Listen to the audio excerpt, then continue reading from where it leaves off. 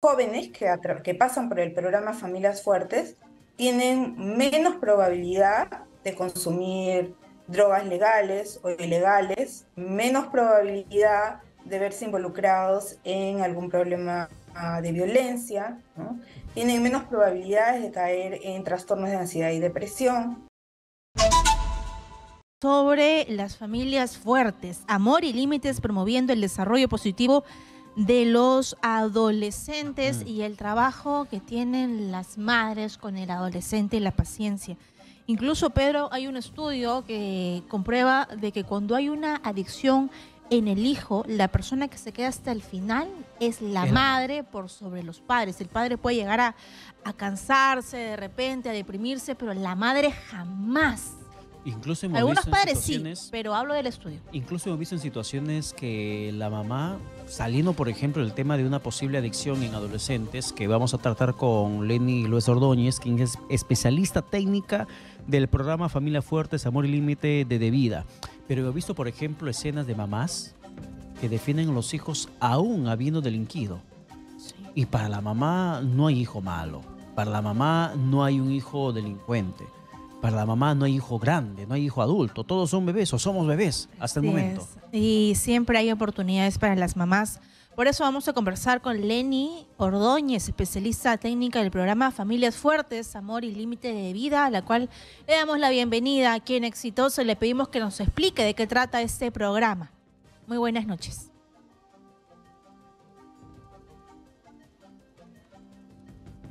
Si podría activar su audio, por favor. Ahora sí, ahora sí lo estamos escuchando. Reitera la pregunta que, eh, que le plantea Katiuska. ¿De qué trata este programa de, de vida? El programa Familias Fuertes, Amor y Límites es un programa que busca fortalecer habilidades parentales para la protección de conductas de riesgo en adolescentes en el rango de edad de 10 a 14 años. ¿no? Es un programa que trabajamos desde el año 2007 en las 25 regiones de nuestro país a través de un convenio marco con el Ministerio de Educación. Y nos gustaría, por favor, que nos explique algún eh, caso, de repente que nos grafique los casos de éxito de este programa que vienen articulando con otras entidades. Mire, el programa tiene desde que empezó su diseño en la Universidad de Iowa, que fue inicialmente diseñado para trabajar con hijos de padres alcohólicos, sabiendo que tienen una probabilidad muy alta también de desarrollar alcoholismo. Ha desarrollado, se han desarrollado investigaciones de impacto y de resultados a largo plazo, a seis meses, a 12 meses, a 18 y 24 meses, y se ha encontrado que hay cambios significativos. ¿no? Los eh, jóvenes que, que pasan por el programa Familias Fuertes tienen menos probabilidad de consumir drogas legales o ilegales, menos probabilidad de verse involucrados en algún problema ah, de violencia, tienen menos probabilidades de caer en trastornos de ansiedad y depresión.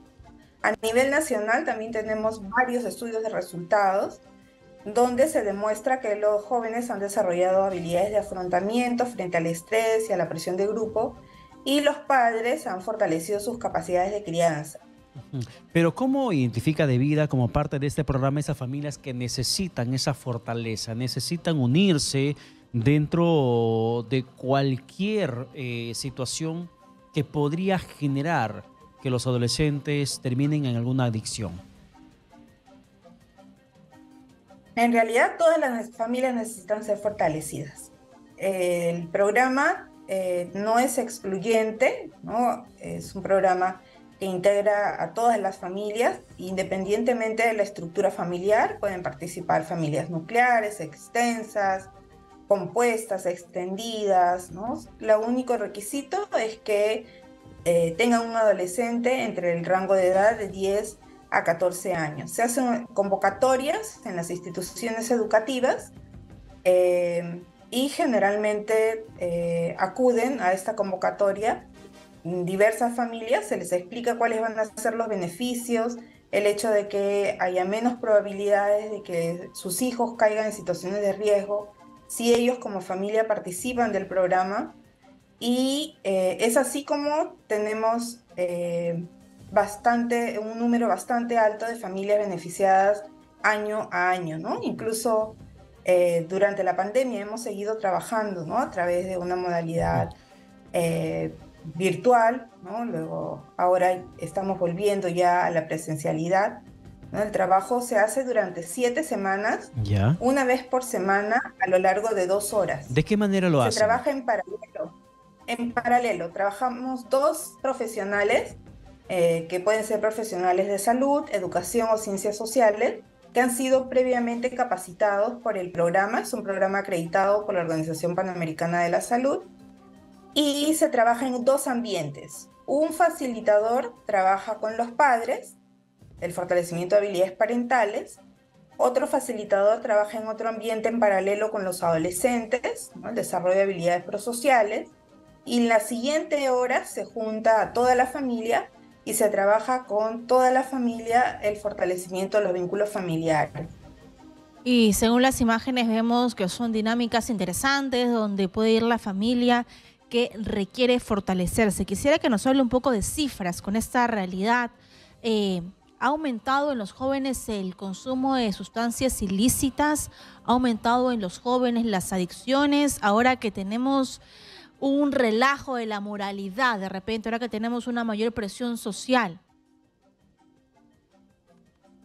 No, eh, mira, a nivel nacional no existen datos eh, actualizados respecto a por las limitaciones que nos trajo el confinamiento respecto al consumo de drogas. ¿no? en los últimos estudios se ha visto un incremento que no ha sido en realidad muy significativo, pero eh, no, no, hay estudios actualizados respecto al incremento, decremento del consumo de drogas legales e ilegales en nuestro país, ¿no? Ese dato es todavía está en investigación. Y ustedes de lo que podemos hablar es del, número de familias que hemos beneficiado hasta el momento, por ejemplo, ¿no?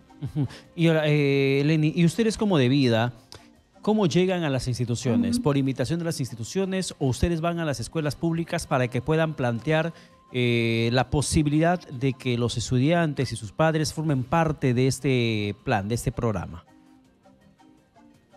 Eh, nosotros trabajamos de manera coordinada con diferentes sectores públicos y privados. Eh, dentro de los sectores eh, públicos, trabajamos con el Ministerio de Educación a través de las direcciones regionales de educación de las 25 regiones de nuestro país. Cada dirección regional de educación lo que hace es focalizar las instituciones educativas año a año que van a ser beneficiadas. Capacitamos a los profesionales como facilitadores a través de una capacitación intensiva de cuatro días a tiempo completo, acabo de venir de una de ellas, y luego estos facilitadores están preparados para intervenir a las familias. Trabajamos con los colegios del Ministerio de Defensa, eh, trabajamos de manera coordinada con el Ministerio de Salud, eh, con ONGs, instituciones educativas privadas, el Consorcio de Colegios Católicos, y toda aquella institución pública y privada que esté interesada en eh, usar el programa Familias Fuertes como una estrategia para la prevención de conductas de riesgo en su población. El programa no tiene ningún costo, es gratuito, solo tienen que coordinar con Endevida a través de un documento escrito o una llamada telefónica para que puedan formarse como facilitadores y beneficiar a sus familias. Muy bien, gracias a Lenny Luey Ordóñez, especialista técnica del programa Familias Fuertes, Amor y Límite. Quisiera darle un mensaje a los padres, a las madres que escuchan la entrevista y dicen, bueno, quisiera formar parte de este proyecto, quisiera fortalecer a mi familia y prevenir que mis hijos adolescentes puedan pasar por algún problema de adicciones. El, el programa les enseña a los padres a supervisar la conducta de sus hijos adolescentes, a fortalecer el vínculo afectivo que algunos padres creen que en la adolescencia ya no es necesario.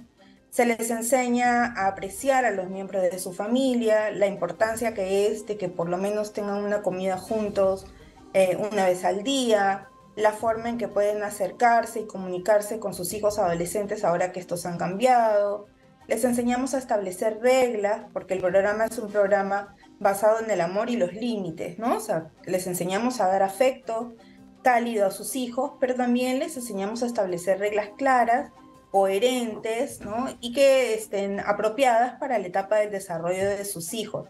Todo esto se convierte en un factor protector frente a diferentes conductas de riesgo, no solo el consumo de drogas, ¿no? sino el embarazo adolescente, la violencia autoinfligida, el suicidio, los trastornos de salud mental, etc.